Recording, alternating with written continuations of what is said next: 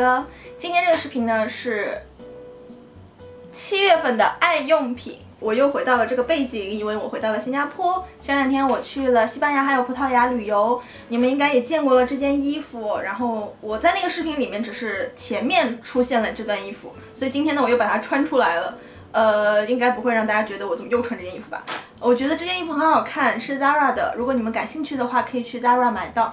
然后今天的产品都在这个框子。然后这些产品里面，基本上百分之九十。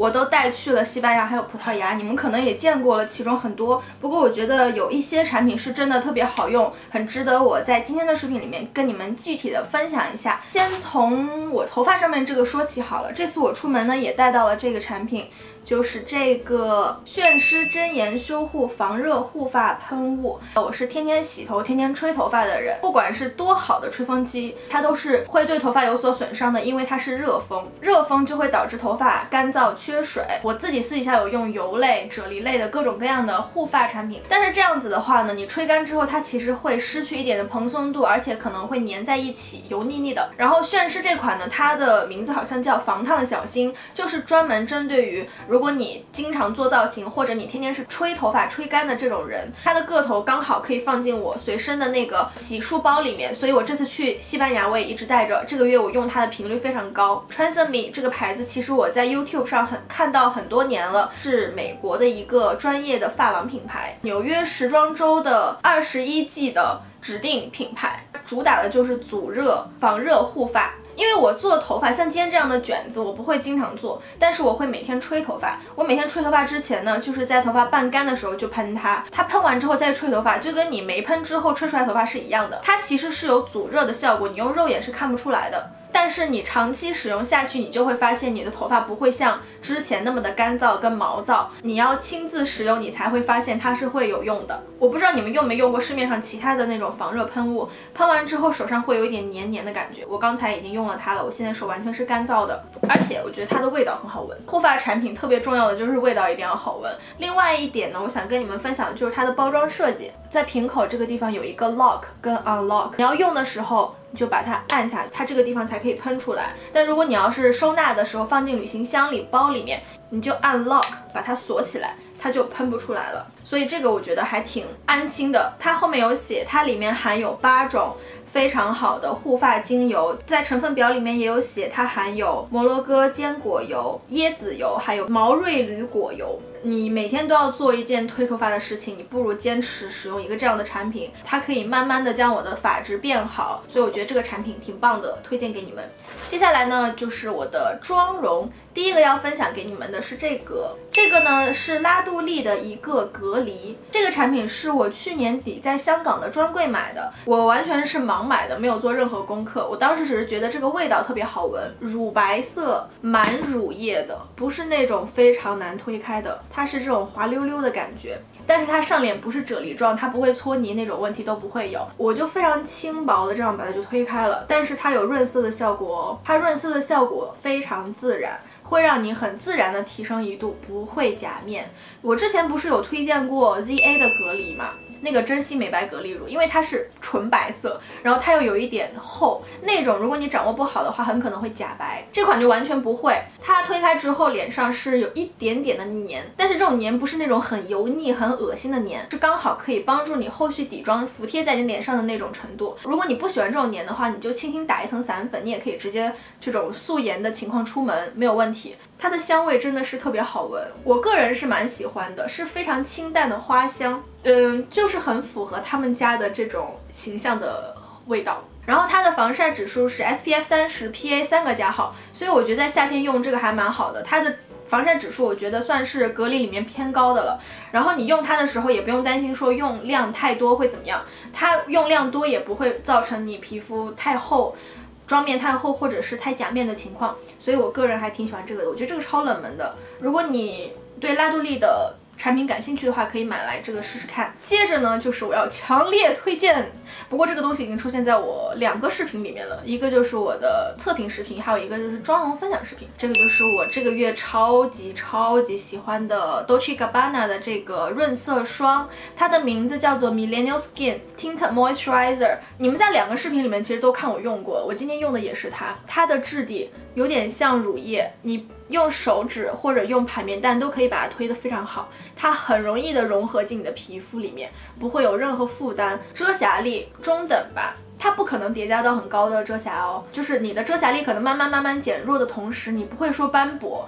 这是我非常喜欢它的一点，它不斑驳，你脱妆可能会有脱了。这个我觉得唯一的缺点可能就是它比较难买，因为它在香港才有柜台，好像 Travel Retail 就是免税店好像都没有见过它。你们可以去淘宝上面找代购，我发现有代购在带这个产品了啊！我下一次去到有 Dolce Gabbana 的专柜，我一定会囤货。这个是我目前用下来最喜欢的底妆，相见恨晚的感觉。如果你是黄二白的人呢，你可以用我的色号是。Sand Light 三这个色号，如果你比我白的话，你应该可以用 Light Two。如果你超级白雪公主的话，你可能可以用 Light One。这一款其实是我以前推荐过了的 CPB 的无瑕遮瑕棒，我的色号是 Beige。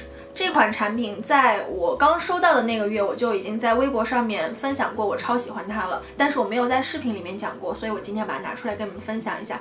我觉得它更适合用来遮痘印。你们都知道我这个地方。就是从上个月开始就开始有一个痘在这边，我觉得你们现在可能还能稍微看到一点，它的痘印颜色真的非常深。这款产品是我这次带去西班牙的一个遮瑕膏，它非常适合遮痘的原因就是它用量很省，遮瑕力非常高。我觉得最适合用它的方法就是就是我在上一支化妆视频里面分享的，用圆头的手指刷蘸取，然后这样子打圈上。非常快速，而且用量极省，看不到任何边界。然后我现在遮痘呢，已经不想用任何其他的品牌的遮瑕膏和刷具了，我只想用那个。我觉得这个非常非常棒。如果你有什么很顽固的痘的话，你可以试试看这个。缺点就是比较贵，但是它用量很省。这已经用了连续一个月吧，连续一个月哦，它就只下去了这么一点点，然后它里面还有这么多，这应该可以用一年吧？我觉得这个挺省的。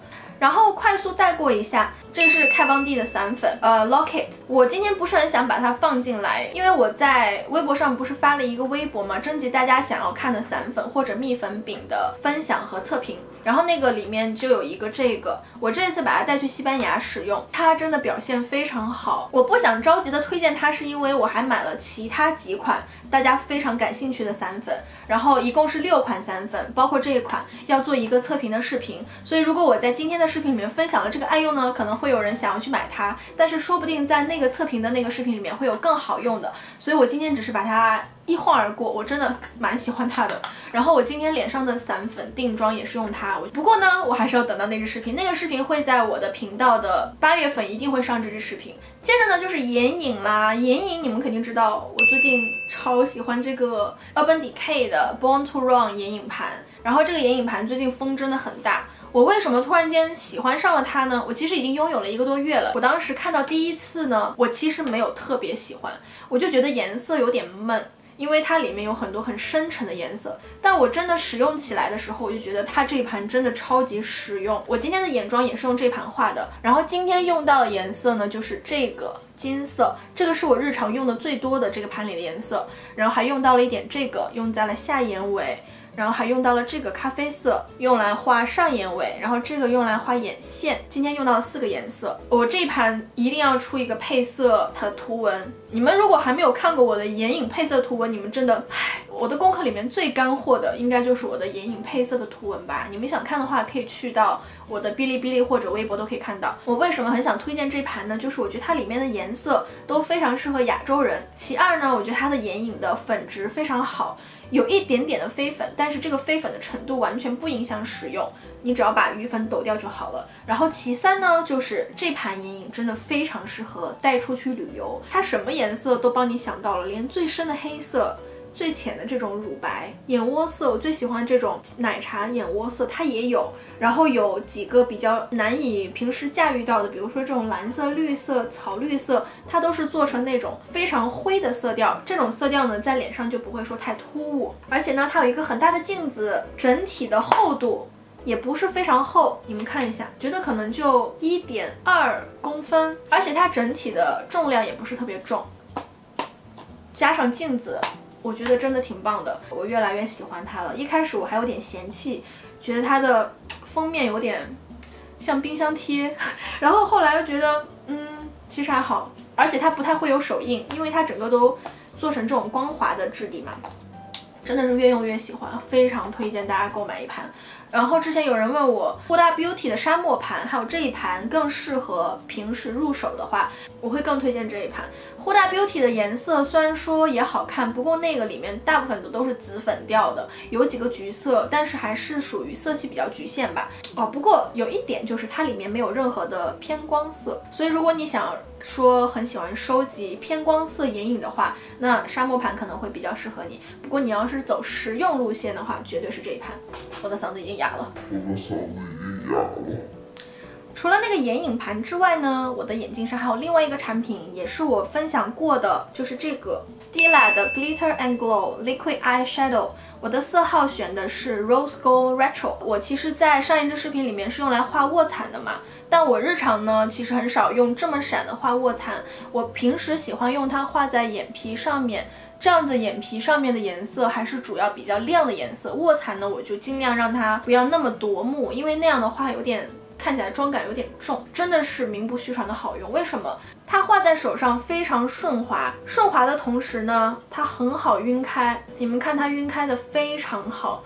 不会有结块的现象，你可以画完整个眼妆之后，再把它叠加在你的眼皮上面，它不会弄坏你之前的粉状眼影，这个是我觉得它非常加分的部分。我之前有用过 ColourPop 的眼影，好像叫 Supernova Shadow，然后那一款呢，它就会导致我的眼皮斑驳，然后有可能干得太快，你 blend 不开，有比较才能知道什么比较好用嘛，对吧？它虽然名字叫做 Rose Gold Retro，但是我觉得颜色没有很。玫瑰，它就是这种淡淡的，有一点偏暖调的金色，我觉得真的很适合亚洲人去使用。然后接着就是嘴巴啦，又是两个你们都知道的产品，这个是 NARS 的高潮系列的润唇膏，这个是我最近超喜欢的 Fenty Beauty 的 Freckle Vista。然后这两个产品是我最近最喜欢最喜欢的唇膏产品。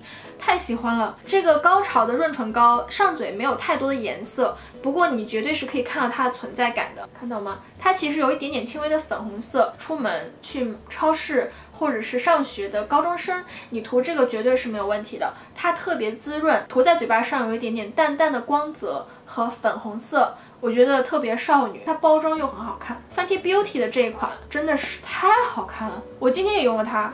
很淡很淡的涂，这个是厚涂，但如果你薄涂它的话，它变得非常橘，就有点像辣椒酱的感觉，好适合夏天。Fenty Beauty 的唇膏的质地做的超好。有点像湿湿的泥土的感觉，不油腻。就如果你用过阿玛尼的红管唇釉，然后我觉得这款产品就有点像那个产品的唇膏版。这两天因为在西班牙很热，都有点化掉的感觉。如果你要是夏天出门带它的话，放到很热的地方烤它，它绝对就化了。它特别小巧，你随身带，放在包里也很好看。玫瑰金的颜色，不过我觉得它手感就有点轻吧，没质感。不过看起来是很好看的。